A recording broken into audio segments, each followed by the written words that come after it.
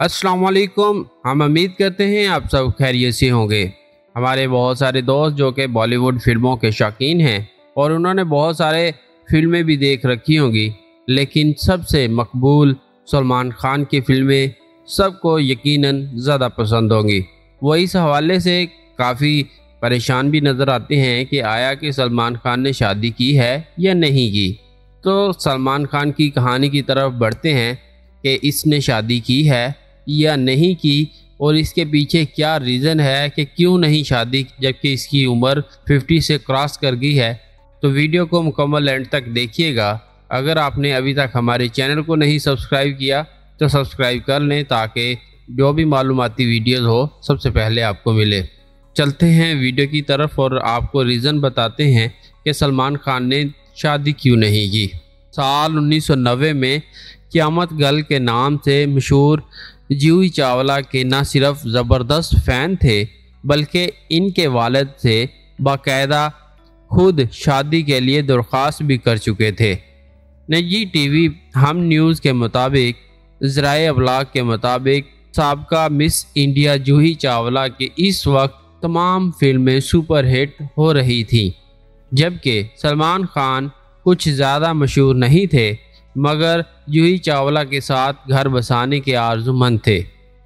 भारतीय ज़राए अबलाग के मुताबिक खुद सलमान खान ने अपनी चेट शो में बताया कि जूही बहुत स्वीट और प्यारी थी और इनका कहना था कि मैंने खुद जूही के वालद से पूछा कि क्या आप जूही को मुझसे शादी करने देंगे? तो इन्होंने मना कर दिया। सलमान खान का कहना था कि शायद वो जूही चावला के वालद को पसंद नहीं आए थे और फिर जूही के लिए मौजू नहीं लगे थे और ज़राए अबलाग के मुताबिक जूही चावला और सलमान खान को लेकर एक डायरेक्टर फ़िल्म बनाने के ख्वाहिशमंद थे। तो इन्होंने ऑफ़र दी, लेकिन पहले जूही ने ऑफ़र को लटकाया और फिर फ़िल्म करने से मना कर दिया। सलमान खान का इस पर कहना था कि जूही चावला इनके साथ काम करना पसंद नहीं कर रही। जूही चावला ने उन्नीस सौ पंचानवे में कारोबारी शख्सियत जे महाता से शादी कर ली थी। जे महाता की ये दूसरी शादी थी।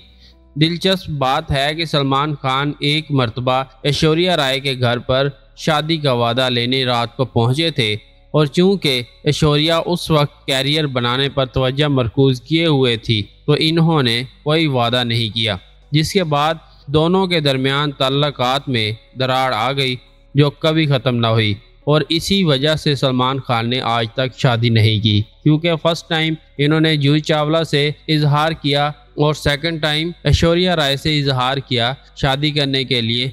जब उनसे इनको इनकार मिला तो उसके बाद इन्होंने शादी, आज तक शादी नहीं की, जबकि इसकी उम्र 50 से क्रॉस हो गई है। उम्मीद है कि जल्द शादी कर लेंगे।